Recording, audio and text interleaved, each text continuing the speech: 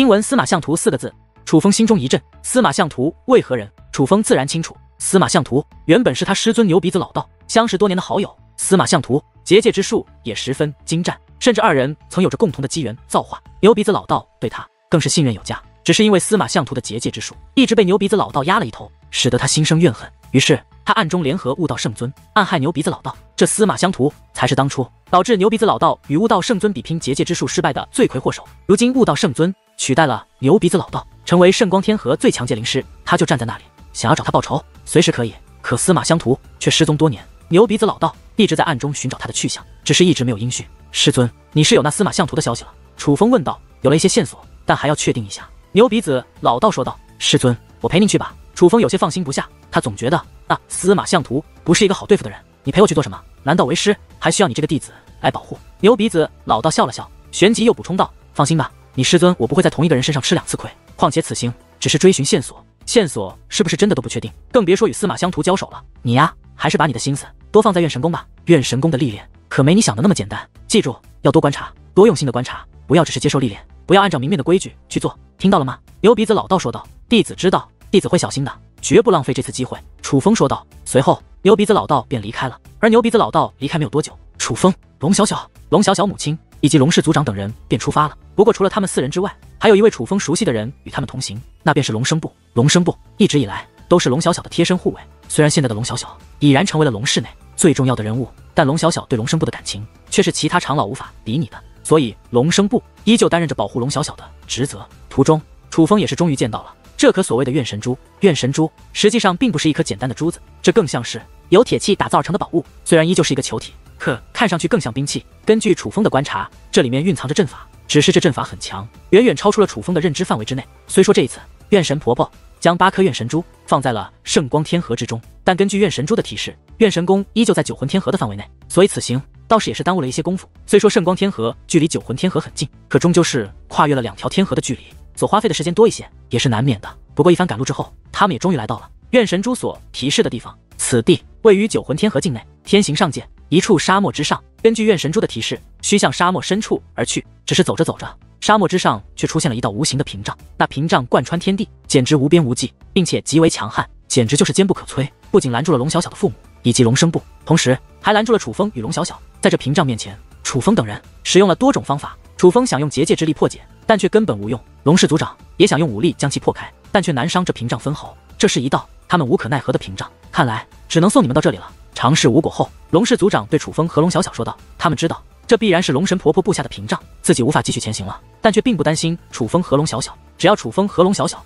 将各自的怨神珠认主于他们，楚风与龙小小便可以穿过这屏障。而楚风与龙小小也不犹豫，赶忙与各自的怨神珠认主。”且认主之后，怨神珠化作银色的印记，融入他们的手背之上，将再也无法被其他人使用。尽管怨神珠化作印记融入了他们的手背之上，但怨神珠的指引依旧存在，只不过现在的指引直接印入了他们的脑海之中。楚风与龙小小再度向屏障走去，发现屏障如同消失了一般，但实际上屏障还在。看来你们只能送到这里了。龙小小笑着对自己的父母和龙生部说道，眼见着要与自己的亲人告别，但他不仅没有一丝不舍，反而好像很是高兴的样子。他当然高兴，终于能与楚风独处了。小小，切记这里乃是九魂天河的领土，尽量不要惹事，哪怕是群妖圣殿，于是天族、云空仙宗的弟子，若是能和谐相处，尽量不要与人发生冲突。当然，若是他们敢找你麻烦，你也不必客气。若是遇到难缠的家伙，你无法对付，回头你父亲必会为你做主。龙氏族长对龙小小嘱咐道，他的这番话可谓相当的霸气，就是摆明了告诉龙小小，他会为其撑腰。可谁曾想，几乎与此同时，龙氏族长却暗中传音的方式与楚风说了另外一番话。楚风小友，群妖圣殿。于是天族、云空仙宗的弟子皆是本性自负，他们这种天才都有一个毛病，就是狗眼看人低。他们若是知道你不是我龙氏族人，必然会轻看于你，你莫要与他们计较。小小和丫头脾气不好，他若是与这些人有了矛盾，还要麻烦你劝劝小小。毕竟圣光天河就这么大，多一个朋友总比多一个敌人好。龙氏族长的这番话其实非常明显，他觉得楚风的身份进入怨神宫是会被看不起的。楚风被看不起，龙小小绝对不会坐视不理，毕竟他女儿的脾气他很清楚。何况现在龙小小这样喜欢楚风。但龙氏族长并不希望龙小小因为楚风而得罪了于是天族、群妖圣殿以及云空仙宗的天才，因此他希望楚风能够收敛一些性子。倘若真的被人看不起，他希望楚风可以忍一忍，不仅要忍，还要劝住龙小小。族长大人，您放心，我楚风是一个明事理的人。楚风以暗中回音回复道：“我知道楚风小有明事理，有你与小小同行，我也放心不少。”龙氏族长以暗中回音的方式说道：“只是这句话却十分虚伪。若不是龙小小非要和楚风一同来，龙氏族长怎么可能将这个珍贵的名额交给楚风？所以对于这句话，楚风也只是不失礼貌的笑了笑，并没有给予回答。父亲，他们若是对我不敬，我真的可以收拾他们吗？龙小小对其父亲问道。当然，有父亲为你撑腰，怕什么？你若斗不过他们，回头父亲为你找回场子。龙氏族长拍着胸脯保证道，那种溺爱简直让人羡慕。但楚风却知道，龙氏族长乃是一个不折不扣的伪君子，更是一个不折不扣的小人。他现在还记得。在龙小小没有得到龙脉支援的时候，他是如何对待龙小小母女俩的？父亲，有你这句话就够了。放心，要是没人招惹我，你女儿绝对不会惹麻烦的。龙小小笑嘻嘻的说道。紧接着，他们做好约定，龙氏族长等人在此等候。楚风二人通过历练后，便到这里与他们会合。决定后，楚风与龙小小根据怨神珠的指引，向沙漠深处前行。这沙漠之上，原本狂风呼啸，黄沙漫天，此地的荒凉简直令人发指。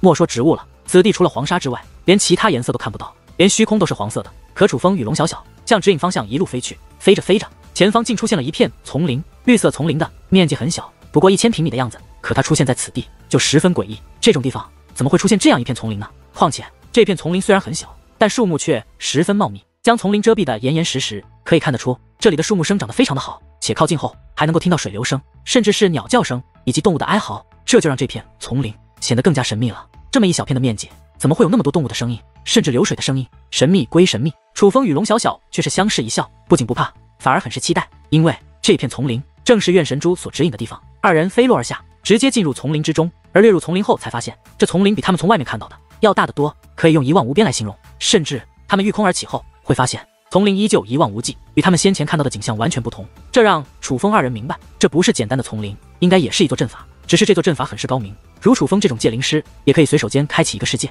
可那世界必须通过结界门进入，不能直接将那个世界移到这个真实的世界之中。但眼前的丛林则没那么简单，不需要结界门，这丛林就摆在这里。只是唯有踏入丛林，才发现这丛林实则另有乾坤，并且只要踏入了这片丛林，若是想要离开，似乎也不是一件容易的事情了。不过令二人颇为安心的是，踏入丛林之后，脑海中那怨神珠的指引依旧在，根据指引一路前行。二人走了许久之后，终于是看到了一栋建筑，那是一个白色的房子，这房子也就一百平米的样子。墙体为白色，是雪白色的那种白，一尘不染。而房顶则是用草堆积成，虽然野草很是粗糙，可那野草摆放于房顶之上，却是整齐有序，看上去非常规整。这样的建筑虽然看似简单，可却有回给人一种精致之感，让人看到它之后觉得耳目一新。值得一提的是，这栋不是很大的房子，却有着四扇门，没有窗，每扇门都是由木头打造而成。可哪怕是楚风天眼也看不穿那木门。准确的说，楚风看不穿这栋房子，不知道房子内究竟是什么。至于这栋房子是何来历，其实建筑前的石碑已经给予了答案。石碑上面刻写的三个大字，正是怨神宫。哟，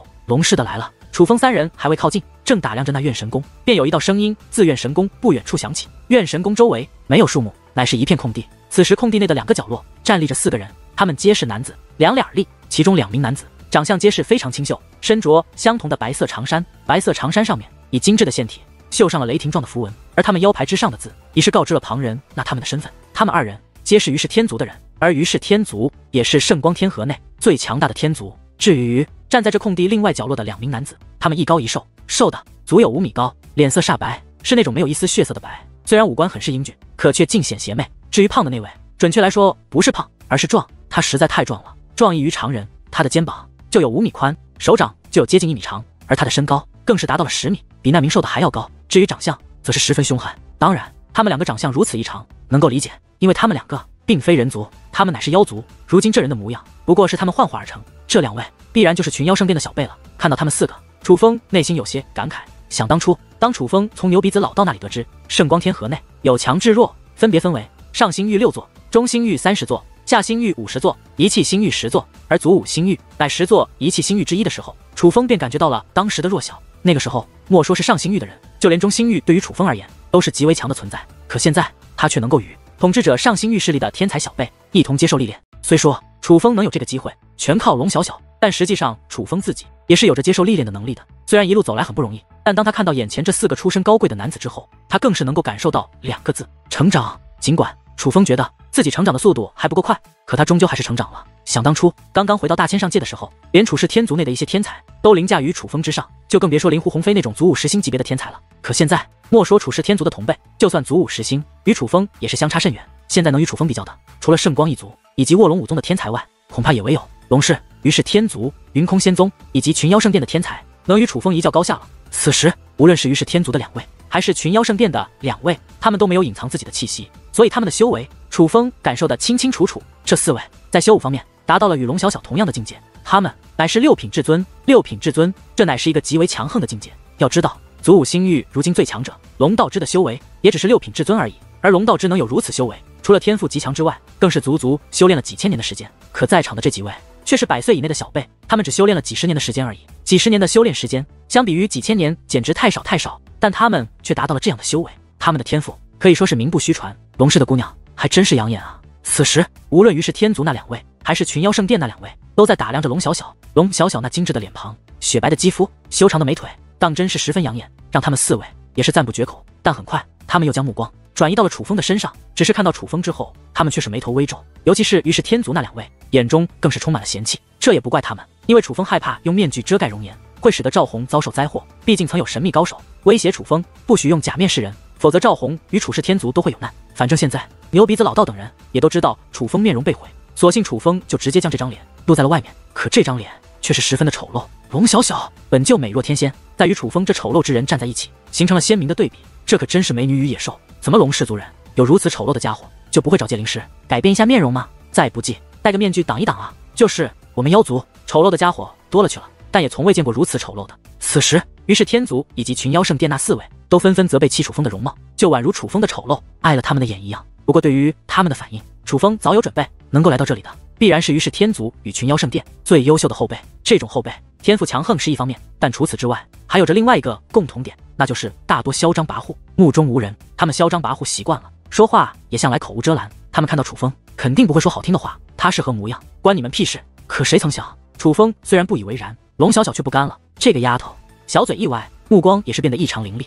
宛如无形的刀刃，凝视着那四位。不仅如此，就连他体内的威压也是直接释放而出，横扫而去。强大的力量使得目光所及之内的所有树木都被吹乱动，甚至快要拔地而起。那个架势简直就是要大打出手。哟，六品至尊，想不到你这小姑娘修为竟如此厉害，看来龙氏也没有那么不堪吗？就是不知道这个丑八怪是何修为。于是天族中的一名男子话到此处后，将目光看向了楚风。他对龙小小并无敌意。甚至还有些欣赏，他只是单纯的不喜欢楚风罢了，还敢废话？信不信我宰了你？龙小小大吼一声，那威压便如无形猛兽，直奔那名于是天族男子压迫而去。见状，那名男子也不惧怕，只见其轻哼一声，同样释放出威压，两股威压相互碰撞，顿时荡起了恐怖的涟漪，涟漪肆虐，使得这方天地都陷入了混乱之中。不过在场之人却没有一个被这涟漪所影响，毕竟他们的修为都在六品至尊。姑娘，你这是干嘛？我说那个家伙丑，又有没说你？你干嘛这么护着？难道他是你相公不成？应该不会吧！我不相信你这样的美女会这样没有眼光，选择这种丑陋的家伙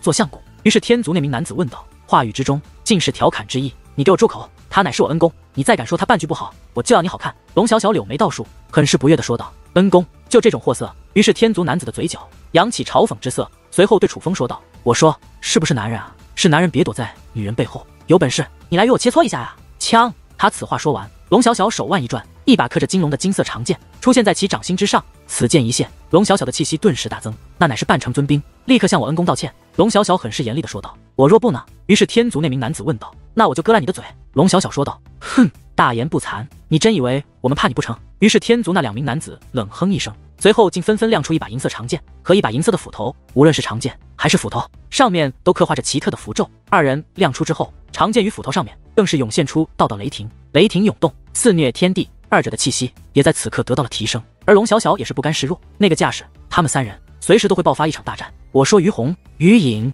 你们二人怎么对人家龙氏公主大打出手？可就在此时，一道男子的声音忽然自从灵处响起，不用看便知道那位来者必然是云空仙宗的人。但楚风等人还是不由自主的将目光投了过去。可是这一看，楚风却是内心欢喜，来者的确是云空仙宗的人。他们虽然身着云空仙宗服饰，但却并没有像其他人一样身上云雾萦绕遮盖容颜，他们的容颜。皆是清清楚楚的展示而出，而那来者乃是一男一女，男子身材挺拔，面容英俊，一身的英武之气，一看就是人中之龙。而那名女子更是极美，偏偏这位楚风认得，那乃是殷庄红。殷姑娘，你也来了。楚风见到殷庄红，喜出望外，径直的走上前去。毕竟楚风与殷庄红也是共患难的好朋友，当日一别，已有多日不见。楚风甚至一度担心殷庄红的安危，后来从云空仙宗弟子口中得知，原来殷庄红本身就是云空仙宗之人，并且是云空仙宗宗主钦点的真传弟子后，楚风才放下心来，但毕竟眼见为实，耳听为虚。此时亲眼看到殷庄红出现，并且气色如此之好，楚风自然十分高兴。可是，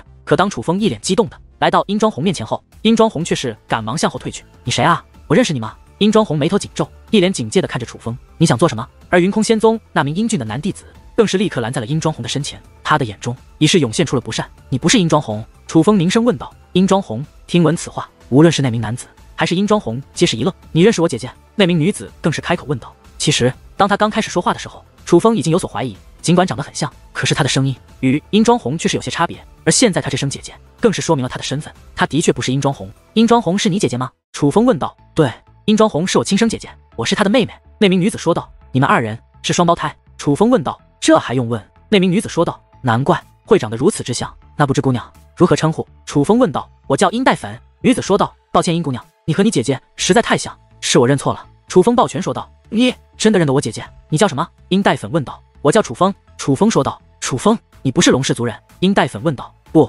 我并非龙氏族人，我来自祖武星域的楚氏天族。楚风知道，如今楚氏天族早已被仙海少羽转移到了安全地方，所以今日就算得罪了谁，他也不怕那些人找自己的族人报复，所以干脆报出了自己的来历。毕竟，不管自己家族实力如何，可终归是自己的家族，那是他的根。什么祖武星域？那不是下等星域吗？楚风此话一出，群妖圣殿那两位便立刻发出了惊呼。不，祖武星域可不是下星域。而是遗弃星域，也可以说是垃圾星域，是整个圣光天河最弱的星域，也可以说是我圣光天河的耻辱。于是天族中那两名男子说道。而听闻此话，在场之人看向楚风的目光更是嫌弃到了极致，就连那殷黛粉也不例外。抱歉，我姐姐从未与我说起过你，我想她也不可能认识你这种人。如果说殷黛粉先前看向楚风的目光还并没有将他的嫌弃表现出来的话，那么此时他可不只是嫌弃那么简单，他对楚风的身份很是鄙夷。而当殷黛粉此话说出后，一阵哄笑，也是分别自于是天族以及群妖圣殿等男子口中传出。他们本就看不起楚风，而楚风先前的举动，在他们眼中无疑成为了一个笑话。只是对于这样一幕，龙小小却是气得咬牙切齿。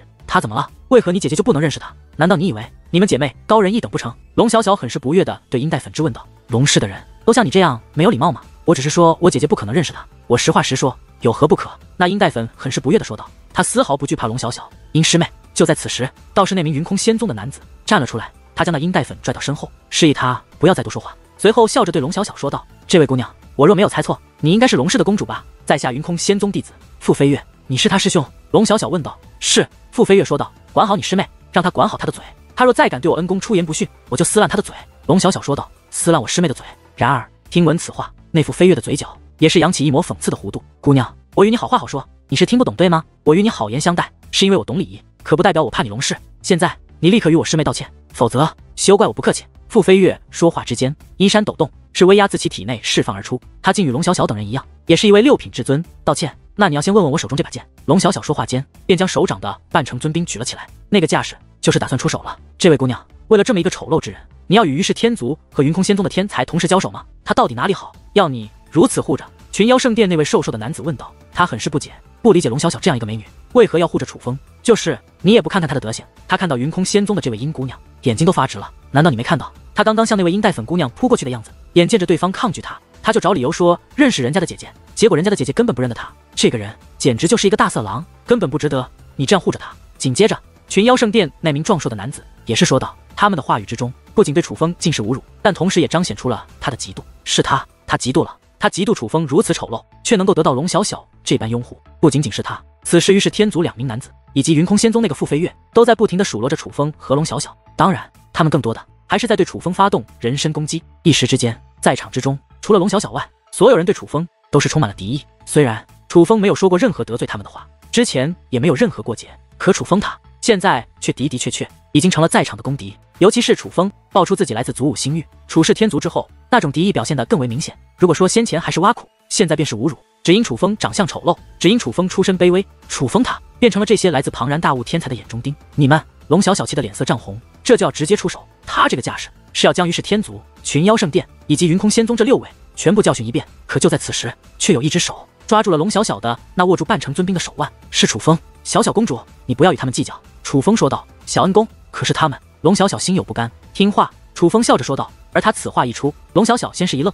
随后竟然连连点头。好，听小恩公的。先前还气呼呼的小脸之上，竟然扬起了甜美的笑容。最重要的是，他那双闪烁着星光的美眸看向楚风的时候，竟满是温柔。这与与对待旁人的泼辣，简直形成了鲜明的对比。这一幕，莫说于是天族以及群妖圣殿，还有云空仙宗的男弟子们，就连殷代粉也是看傻了。不管他喜不喜欢龙小小，但龙小小的美貌，他也是承认的。至于楚风丑陋至极，说是怪物也不为过。他实在无法理解，实力与美貌兼并且出身高贵的龙小小，是如何看上这个出身卑微的丑八怪的。喂，你到底给这个姑娘喝了什么迷魂汤，竟让她对你死心塌地？对，快说，你这出身卑微的废物，到底对她做了什么？于是天族以及群妖圣殿的小辈，皆是对楚风问道：“很好奇吗？这就是男人的魅力。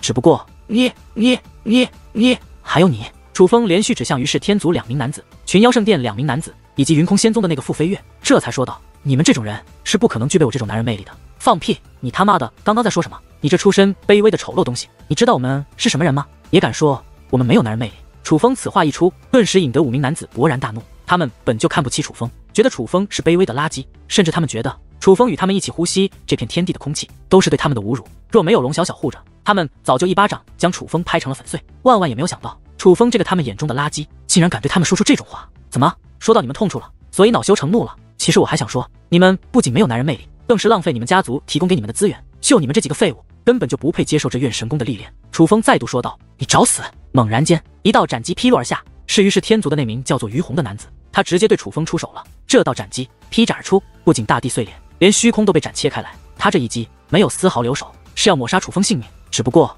龙小小早有准备，只见其手掌抬起。一掌轰出，龙啸肆虐间，一条金龙飞掠而出，将那剑气抵消开来。废物，有本事别躲在女人身后！于红指着楚风怒吼道：“想和我恩公交手，你还不配！有本事你先！”龙小小话还没有说完，楚风的手便落在龙小小的肩膀上。丫头，不是叫你不要理会他们了吗？楚风说道。小恩公，可是龙小小一脸不甘，但楚风叫他不要出手，使得他进退两难。丫头，这是男人之间的事，你还是别管了。这个废物就交给我来收拾吧。楚风说道。这个废物刚刚说什么？他说他要收拾我。我没听错吧？而楚风此话一出，那个先前对楚风出手的于红一阵冷笑，笑容之中尽是嘲讽之意。在他看来，楚风根本不敢真的与他交手。至于楚风，则是拍了拍龙小小的肩膀后，便御空而起。楚风这个举动更是让在场的天才们感到意外，因为楚风这个架势可不像是在开玩笑，他竟真的打算接受于红的挑战。他们无论如何也没有想到，楚风竟然真的敢接受于红的挑战。他一个来自垃圾星域垃圾家族的卑微之人，凭什么挑战他那位最强天族的最强天才？可谁曾想？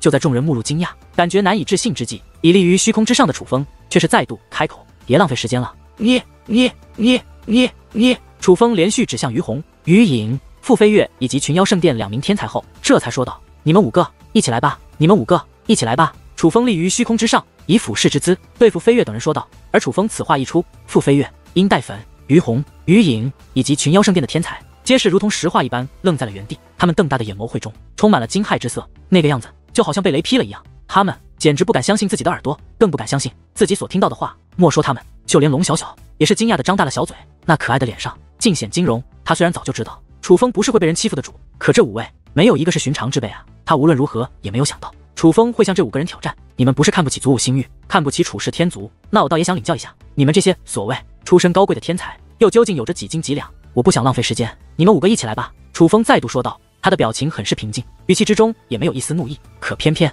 无论是他的姿态，还是他的话语，都彰显了两个字：自信。此时的楚风极为自信，宛如他已是此处的王者，可以战胜一切。可忽然之间，一阵大笑响起，那笑声极为刺耳，在虚空之上响彻，可传到千里之外。弑父飞跃，弑父飞跃，在短暂的震惊过后，发出了这极为讽刺的笑声。狂笑之后，他看向了龙小小，我说：“你从哪里找来的这个跳梁小丑？是来逗我们笑的吗？一个卑微的下等生物，也敢挑战我等天之骄子？”是谁给他的自信？是他的无知吗？傅飞跃对龙小小说道。可突然之间，一道身影如同鬼魅一般来到了傅飞跃的身后。这个人乃是楚风。感受到楚风出现在其身后，傅飞跃也是面色大惊，恐惧在他的眼中涌现出了恐惧。明明楚风刚刚还在虚空之上，怎么转眼间就来到了他的身后？但这并非重点，重点是楚风出现之后，他感觉背脊发凉，连汗毛都无法自控的竖立而起。那种感觉就好像是极大的危险已经落在了他的身上一般。他的本能告诉他，此时出现在其身后的这位极其危险。眼见不妙，傅飞跃也不敢大意，手掌准备摸向乾坤袋，是要拿出半成尊兵提升战力。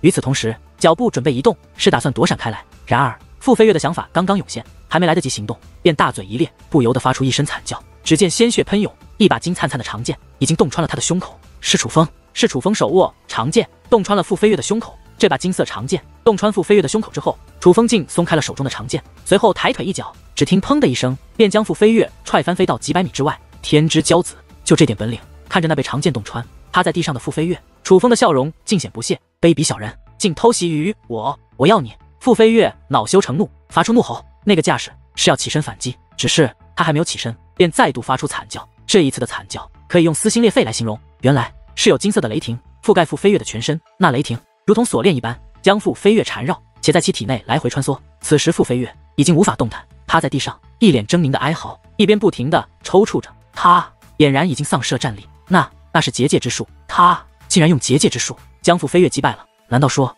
他是龙纹级圣袍界灵师，是掌握了龙变之感第三重的界灵师？当们已经从那金色长剑看出，那不是寻常的兵刃，那乃是结界之术所化。包括那金色雷霆，也是结界之术。此一幕的发生，使得于红、于影以及群妖圣殿那两位皆是大吃一惊。如果说他们先前的惊是因为没有想到楚风胆敢挑战他们五人的话，那么此刻的惊便是他们没有想到楚风会拥有如此强大的力量。一个来自祖武星域的小辈。怎么可能是龙变三重的界灵师？这样的界灵之术，岂不是比悟道圣尊的弟子吕剑还要厉害？那他岂不是当今圣光天河最强的界灵师后辈？胆敢伤我师兄，我要你命！忽然，一股杀意自楚风身后袭来，乃是殷代粉。殷代粉的手中出现了一把粉色长剑，那乃是半成尊兵。当其开口之际，那粉色长剑已是化作粉色的流光，直奔楚风而去。然而，楚风身姿微微一歪，便将他迎面刺来的一剑给躲避开来。见此情形，虽然殷代粉十分意外，可眼中怒色更浓。手中横扫而去，要斩断楚风的脑袋。可楚风身子后仰，再度轻松躲过殷代粉的攻势，连续两击皆被楚风轻松躲过。殷代粉气得咬牙切齿，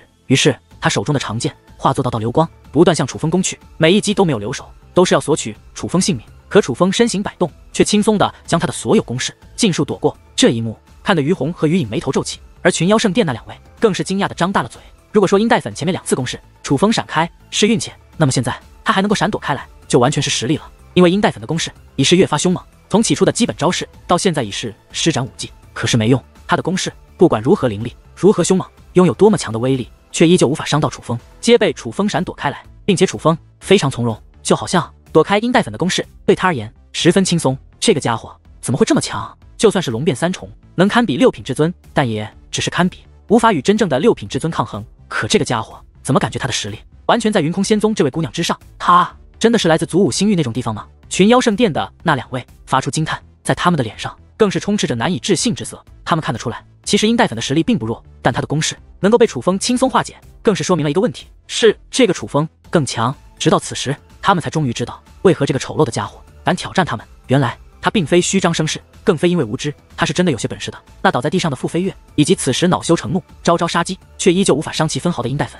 都是最好的证明。看在你姐姐的面子上，我不想伤你。现在停手也就罢了，不然我可就不客气了。楚风一边闪躲一边说道：“呸！我姐姐根本不会认识你这种怪物，你这种出身卑微的怪物，与癞蛤蟆有何分别？你与我说话，我都嫌恶心。最可恨的是，你这种出身卑微的怪物，竟然也敢伤我师兄！你死定了！不仅你要死，你那楚氏天族一个都别想活！你会知道，得罪我们的下场是你承受不起的。”殷代粉说这番话的时候，眼中杀意弥漫。他可不是在开玩笑，他是真的有这个打算。虽说她是殷庄红的妹妹。但他的性格却与殷庄红完全不同，这种蛮横与刁蛮令楚风厌恶。于是楚风的眼中也是涌现出一抹寒意。突然间，楚风身形一闪，躲过殷代粉的攻势之后，脚步向前一踏，他改变身形，不退反进，且手臂化作流光，直奔殷代粉而去。殷代粉眼见不妙，便想闪躲，可为时已晚。只听啪的一声，楚风的手掌已如鹰爪一般，紧紧地扣在了殷代粉的手腕之上。啊！殷代粉发出一声惨叫，手中的半成尊兵更是应声落地。原来。他的手腕被楚风捏成了粉碎，不过楚风得手之后，并没有继续伤他，而是手臂一扬，将他掀翻在地。先前还喊打喊杀的殷代粉，转眼间便被摔了个狗啃屎。别以为你是女人，我就不敢动你，刁钻蛮横，不配为人。楚风看着殷代粉，冷冷的说道：“你这畜生，我要杀了你，我要将你碎尸万段！”殷代粉再度怒吼开来，紧接着虚空之上竟有云层涌动，乌云密布，遮盖虚空数千里。与此同时，他体内的气息更是有了极大的变化。他的修为正在急速攀升，眼看着就要突破到了七品至尊的境界。可突然间，金色雷霆凭空而现，将那殷代粉浑身缠绕。紧接着，殷代粉便如同他的师兄傅飞跃一样，发出哀嚎的同时，躺在地上不断的抽搐。他已是丧失了一战之力，怎么回事？此时，莫说于是天族和群妖圣殿那几位，就连龙小小也是满眼的茫然。他们都看得出来，那殷代粉是有底牌的。他刚刚的手段应该是可以提升修为的，可不知为何，他还没来得及提升修为。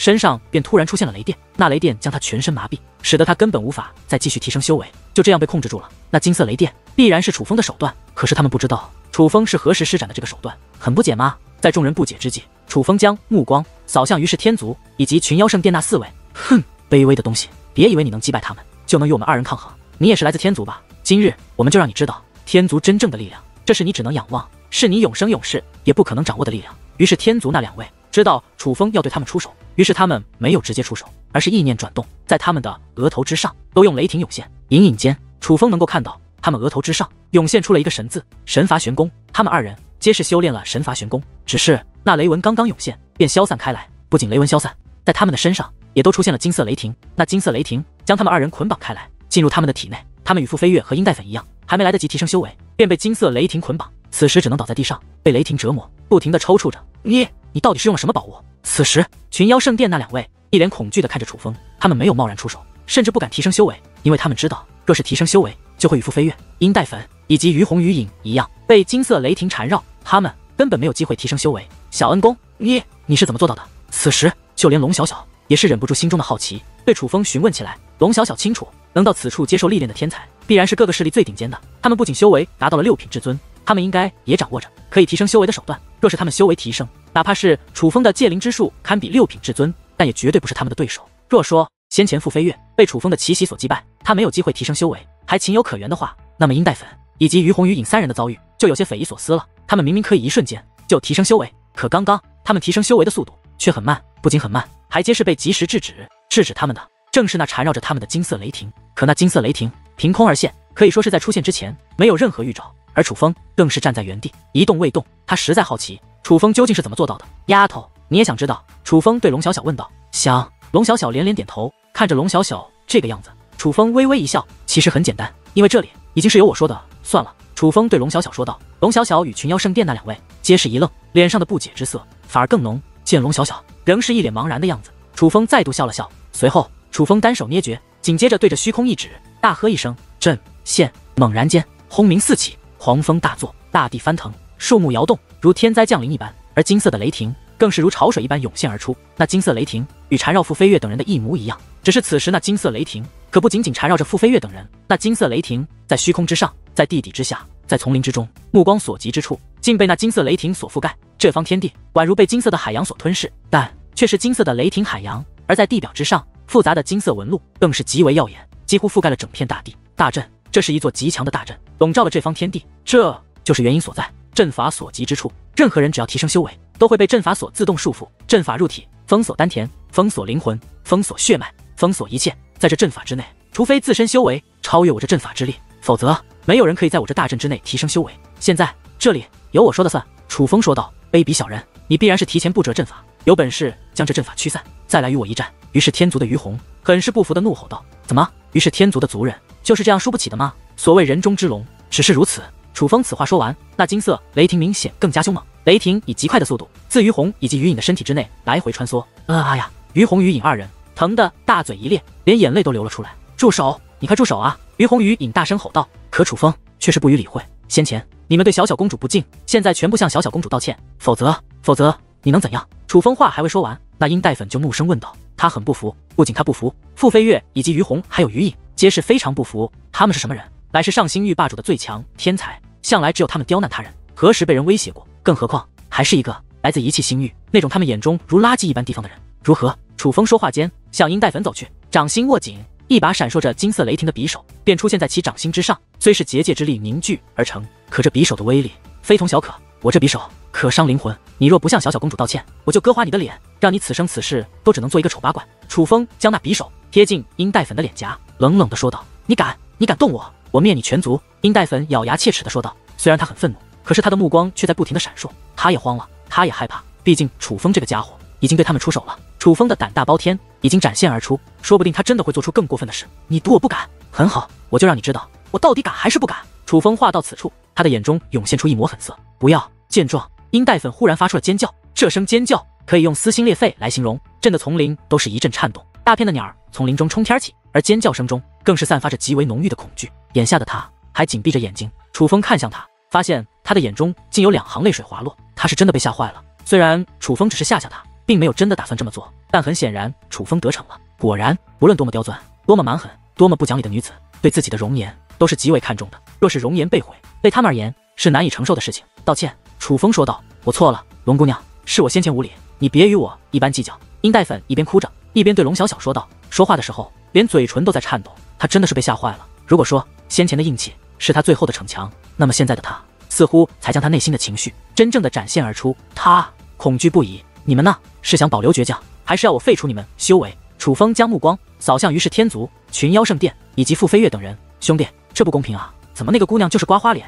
那我们这就废除修为了？这男的也太惨了吧！群妖圣殿那位瘦子说道：“是啊，是啊，这不公平。”紧接着，群妖圣殿的壮汉也是说道：“不废除修为也行，那就割掉你们下面。”楚风将手指向那瘦子的裆部，听闻此话，二人皆是脸色一僵，不由自主的将手捂向裆部，随后更是赶忙弯腰施礼，对楚风与龙小小说道：“这位兄弟，这位姑娘，是我们有眼不识泰山，忘记了人不可貌相的道理。刚刚我们嘴臭，多有得罪，别与我们计较啊！”话罢之后，那瘦子更是抡起了胳膊，随后啪啪两声，他竟狠狠地抽了自己两个耳光。这一幕，莫说楚风和龙小小，就连傅飞跃他们也惊到了。可突然又有两道耳光炸响，是那壮汉。在瘦子抽了自己两个耳光之后，壮汉竟也紧随其后，狠狠地抽了自己两个耳光。这两位群妖圣殿的后辈认错态度极为诚恳，让楚风都感到十分意外。他们都这样认错了，楚风还能说什么呢？你们呢？于是楚风将目光投向了傅飞跃、于红以及于颖等人。抱歉，是我们不对，不该出口伤人，放过我们吧。那三位被金色雷霆折磨的，连说话都已经没了力气。这个时候，他们身上的锐气、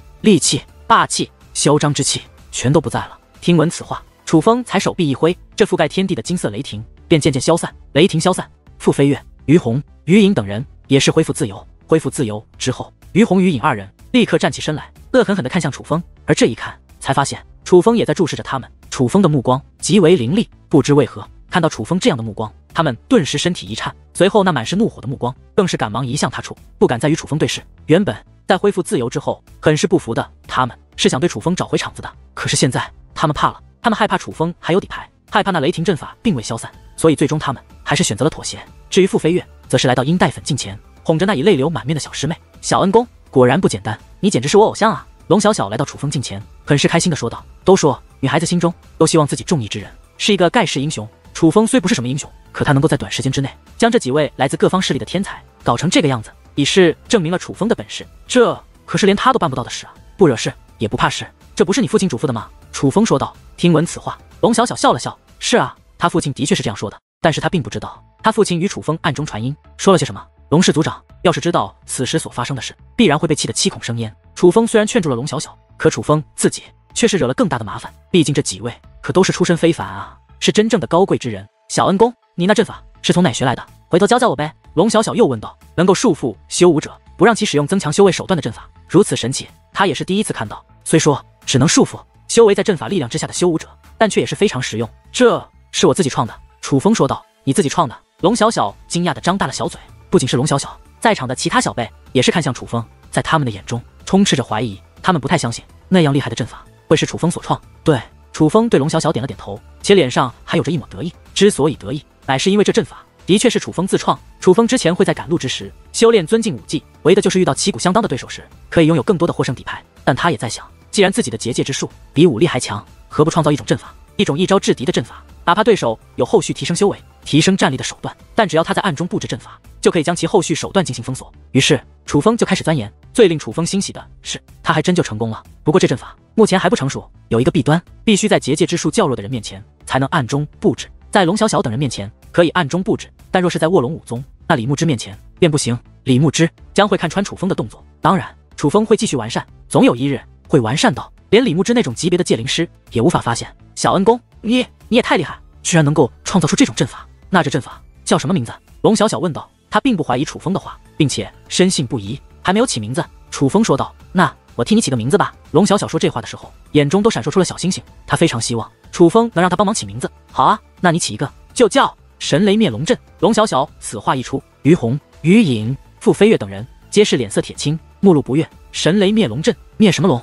那不就是在说他们吗？毕竟他们一直都觉得自己是人中之龙啊，这名字简直就是对他们这几位顶尖天才的侮辱。好，这个名字好，就叫这个名字。而令他们更气的是，楚风竟然连连叫好，也认可了这个名字。楚风说话间，取出一个卷轴，卷轴上面空着一处，只见楚风以手为笔，在那空白处一阵舞动，“神龙灭龙阵”五个大字便出现在了卷轴之上。小恩公竟然早就将这阵法的布置方法记载了下来吗？看着卷轴，龙小小连口水都快流出来了，恨不得立刻拿到手中。这阵法很难练，并且更是不好施展，你学着玩玩就行了。楚风将卷轴递给了龙小小，他觉得这阵法龙小小学不会，就算学会也是一点皮毛，不可能像他这样展现出如此威力，因为楚风很清楚，这阵法乃是他融合了自己的结界血脉，才能施展出如此威力。换句话说，除了他，没有任何人能够将这阵法的威力达到这种地步，除非是与他一样拥有相同血脉的母亲。这位兄弟，刚刚的阵法着实厉害的，简直是我所见过最厉害的阵法。若非见到这等阵法，我是不会相信，原来同等战力之下，界灵师是可以压制修武者的。这位兄弟，我对你的敬佩就如滔滔江水连绵不绝啊！群妖圣殿的瘦子以极其夸张的语气对楚风说道，一边说话还一边向楚风靠近。你想说什么？楚风的眼中有着一抹谨慎。群妖圣殿这两位虽然妥协的很快，但楚风却也不敢大意，毕竟楚风与他们并不熟，不知道他们究竟是什么样的人。这位兄弟，我对这阵法也是心生崇拜，更想将这阵法展现给其他人。不知道兄弟能否将这阵法也传授于我？若是兄弟愿意，那每次施展这阵法之时，我都愿意告诉所有人，这阵法乃是你传授于我的。群妖圣殿的瘦子对楚风问道。听闻此话，楚风忽然笑了。他没有想到对方会提出这样无理的要求，这脸皮也着实太厚了。于是问道：“你觉得呢？”嘿嘿，开个玩笑，打破一下尴尬的气氛吗？这位兄弟，你叫楚风对吗？我来自群妖圣殿，来自神威豹族，我叫暴月。群妖圣殿的瘦子对楚风抱拳说道。他竟极为郑重地介绍起了自己。楚风兄弟，我也来自群妖圣殿，不过我来自群妖圣殿的。阴山魁妖族，我叫魁无敌，朋友都叫我魁大胆。楚风兄弟不嫌弃，叫我大胆就行了。紧接着，群妖圣殿的壮汉也是上前说道：“那憨憨的样子，与先前的嚣张简直判若两人。你们两个，这嘴脸变得够快的。”龙小小笑嘻嘻的说道。虽然他也很厌恶这两个人，但相比于于红和于颖等人，龙小小觉得这两位群妖圣殿的天才似乎还不错。我们两个的确也有着狗眼看人低的坏习惯，没办法，我们虽是妖，但也有人的劣根性。但其实我们本性不坏。对对对，我们两个本性不坏，很少做欺男霸女的事。最多嘴上过过瘾。那暴月与魁大胆说道，也算不打不相识。楚风对这二人抱了抱拳。楚风觉得群妖圣殿这两位的确比于是天祖以及云空仙宗的要强。尽管先前他们两个也说了难听的话语，但他们敢做敢当，且有悔过之心。虽说他们也是在见到楚风的实力后才改变了脸色，也有着见风使舵之嫌，可总比于是天祖以及云空仙宗那几位强。那几位现在虽然什么也没说，可心里必然都恨死楚风了。若是有机会，他们绝对不会饶过楚风，甚至有可能会将楚风置于死地。想不到圣光天河的小辈。居然弱到了这种地步，且品性极劣。一群弱者居然还趾高气昂，看不起同天河之人。难怪当年大名鼎鼎的祖武天河会落寞到今日这般田地。忽然，一道沙哑的声音响起，而那声音来自愿神宫后面。很快，一道驼着背的身影自愿神宫后面走了出来。这个身影很瘦，骨瘦如柴，身材矮小，只有一米出头。他手握拐杖，步履蹒跚，似是随时会倒下一样。虽说头戴兜帽，看不清面容，可兜帽下垂落而出的却是丝丝白发，尤其那露出来的手掌，不仅干瘪。更是满是皱纹与斑点，说明他是一个年迈的老人。拜见院神婆婆，见到这位于是天族的两位，赶忙施以大礼，不仅动作极快，更是一脸殷勤。你们于是天族的族人，平时也是这般，见到机会就赶忙拍马屁吗？然而他们那快速的恭敬反应，却换来这位老人的冷嘲热讽。我们被这位老人这样一问，于红于影二人的脸色也变得尴尬起来。我并非院神婆婆，所以你们不要乱叫，我乃院神婆婆的弟子。那位老人说道。那不知该如何称呼前辈？傅飞跃上前问道，他的态度。没有像于红于影那般殷勤，相对沉稳一些。可谁曾想，那老人竟看都没看他一样。你们的怨神珠都应该融合了吧？那位老人对所有人问道。前辈已融合了。众人纷纷说道。融合了，就过来取钥匙吧。老人说话间，取出了一个葫芦。我这里有着八把钥匙，分别分为四个颜色，有两把钥匙的颜色是相同的。取到相同颜色钥匙的人，便被分配到同一组，接受考核。记住，你们要相互配合，唯有顺利通过考核，才能接受历练。那老人说道。见状，于红、于影等人。赶忙走上前去，想要拿那所谓的钥匙，而龙小小却是忽然举手，大声说道：“前辈，我有话要问。”“要问什么？”那老人问道。“可否自愿选组？”龙小小问道。他之所以这样问，自然是想与楚风同组。不行，抽到哪个算哪个，不可交换。老人说道。“那我先抽。”龙小小几个箭步就来到了老人面前，可是他有犹豫了，随后看向楚风：“小恩公，要不你先来吧。”“好。”楚风笑着点了点头，随后来到老人面前，将自己的手伸了出去。老人轻轻地拍了一下葫芦，葫芦之中便掉落出一把钥匙。钥匙很小。也很简单，阳光之下闪烁着微微紫光，紫色。老天保佑，我也要紫色，我也要紫色。龙小小一边念叨着，一边探出了手。可是他的小手居然微微颤抖，看得出来他十分紧张。而他的心思大家都懂，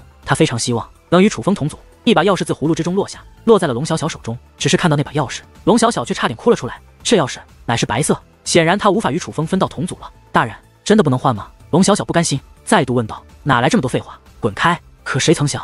龙小小此话一出，竟激怒了那位老人。老人说话之间，一股劲风横扫而出，将龙小小推飞出去。好在力道不是特别强，龙小小并未受伤，只是多问一句：“何必出手？”楚风问道：“若是有何意见，现在就可以滚。”那老人恶狠狠地说道：“丝毫不留情面。”小恩公见状，龙小小赶忙来到近前，一把抓住了楚风，示意楚风不要顶嘴。虽然龙小小也是暴脾气，但他却很聪明。他知道眼前这位可是他们的最不起的。而眼见着楚风与龙小小被那老人训斥，于红、于影等人忍不住坏笑起来。他们就等着楚风与龙小小出丑呢。笑什么笑？你们也一样。若有意见，立刻滚蛋。有意见吗？老人对于红、于影怒吼道。没，没意见。于红、于影赶忙说道，吓得说话的时候嘴巴都歪了。没意见就赶紧过来取钥匙，别浪费时间。老人大吼道。这种情况下，其余的人赶忙上前去取钥匙，最终发现八把钥匙分别是紫。白、红、黑四个颜色。龙小小与于红是白色，暴月与于影是红色，傅飞月与魁无敌是黑色，而楚风与殷黛粉是紫色。看到这个分配，龙小小咬着嘴唇，很不高兴。但有一个人比龙小小还不高兴，那就是傅飞月。他一双眼睛恨不得要吃了楚风一样，恶狠狠地盯着楚风。楚风，我不管你是何来头，但我可以明确的告诉你，我殷师妹乃是我云空仙宗宗主大人的传承弟子。之前的事我们也有不对，可以既往不咎。但现在开始。你若还敢对我殷师妹不敬，或者趁着与她独处做什么事，我云空仙宗绝对不会轻饶你。那傅飞月对楚风警告道：“趁着独处做什么事？你说的是什么事？”楚风问道：“什么事都不行，只要你敢做，我绝不轻饶你。”傅飞月说道：“是吗？本来我没想做什么，但是听你这么一说，我忽然想做点什么了。因为我很好奇，你是怎么绝不轻饶我的？”楚风说道。傅飞月气得脸色发青，他抬出云空仙宗，说出这番话，就是想警告楚风对殷黛粉客气一些。但没有想到，他的这番警告不仅毫无效果，反而换来楚风这样的对待。师兄，你放心好了。我相信楚风公子不会是那种人，可谁曾想，就在这时，殷黛粉却是忽然开口了。这一次，他在开口，已经没有了先前对楚风鄙夷，相反非常客气，那个模样就好像先前的过节，他已经抛在了脑后，全都忘记了一样。师妹，防人之心不可无。傅飞越见他师妹这样的态度，反而更加担心了。他可不希望自己的师妹和这个丑八怪走得太近。师兄放心便是，师妹心中有数。殷黛粉笑着说道：“你们聊够了没有？”可就在此时，那位老人以不耐烦的语气大声问道：“回前辈，准备好了？”众人纷纷说道：“准备好了，就进门。你你进第一道，你你你进第二道，你你。”这位老人依次点名，将楚风等人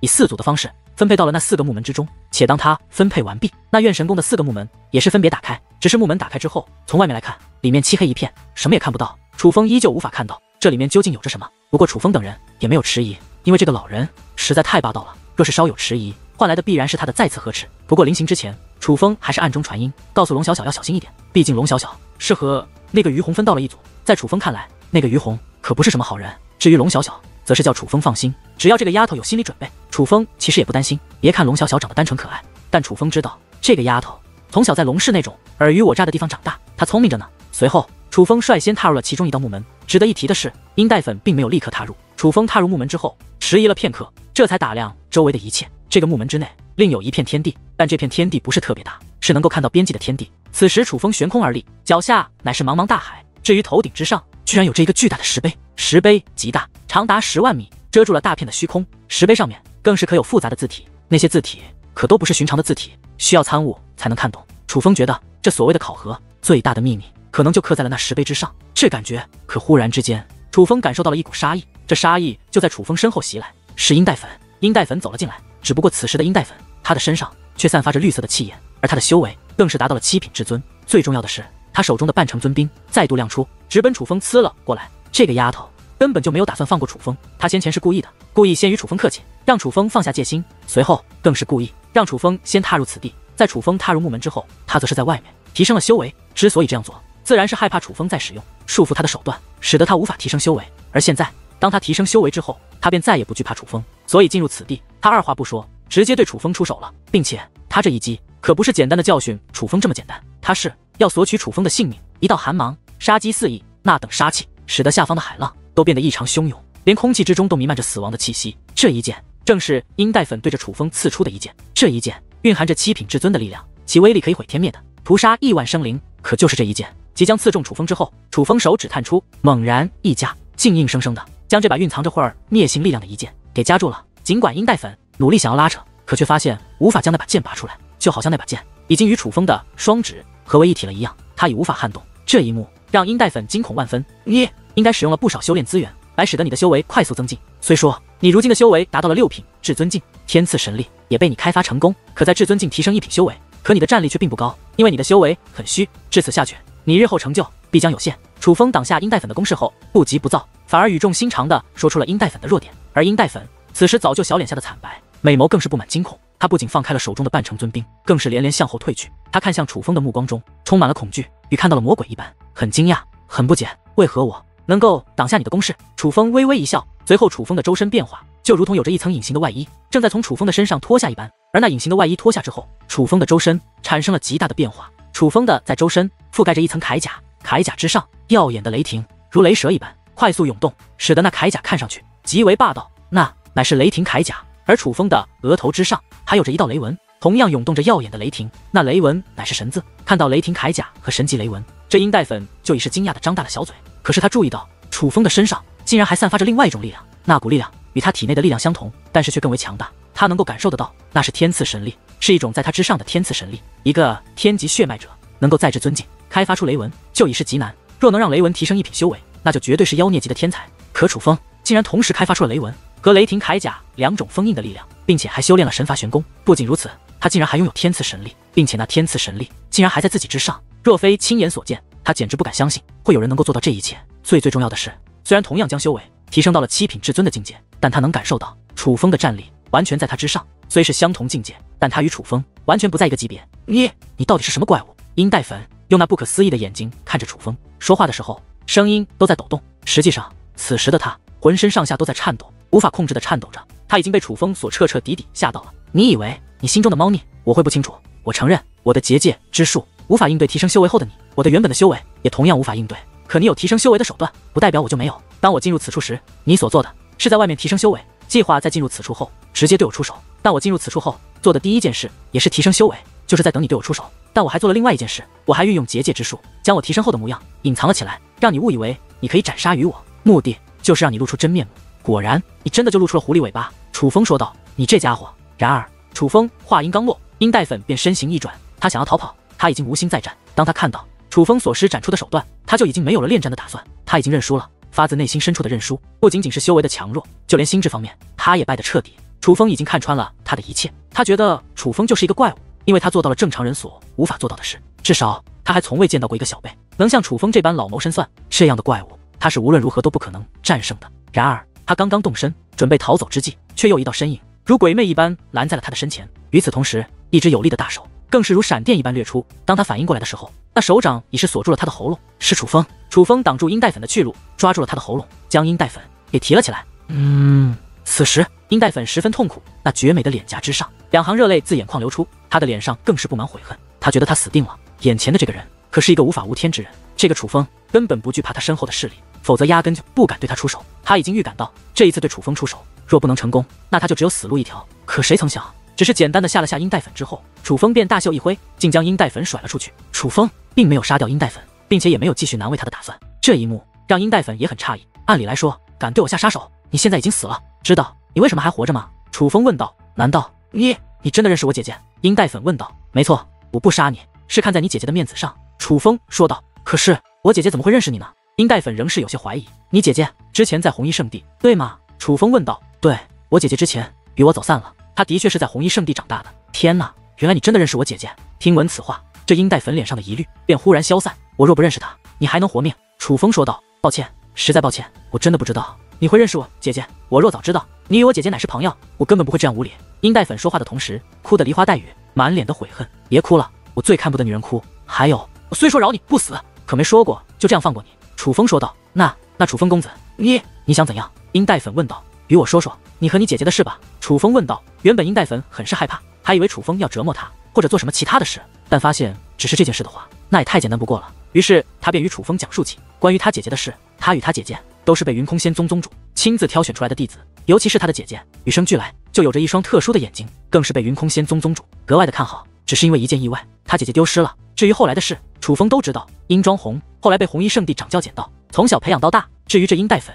则是一直从小就在云空仙宗长大的。可以说，殷黛粉从小到大都是云空仙宗的天之骄子。这也难怪他会养成今日这种刁钻蛮横的性格。而殷庄红与殷黛粉的父母其实都只是普通人，他们的父亲更是在他母亲怀他们姐妹的时候，因为得罪了一个修武者，就被人杀掉了。虽然他的母亲是普通人，可云空仙宗宗主觉得，既然生出了殷庄红和殷黛粉这两个优秀的孩子，也算是功劳一件。于是，在收二人为弟子的时候，就将他们的母亲一同带入了云空仙宗，以普通人的身份享受着极为尊贵的待遇。至于姐妹二人的名字，都是她母亲亲自取的。值得一提的是，她们姐妹的母亲虽然是普通人，但脾气却很不好，再加上享受着尊贵的待遇，她的母亲在云空仙宗内可谓是一个人见人怕的主。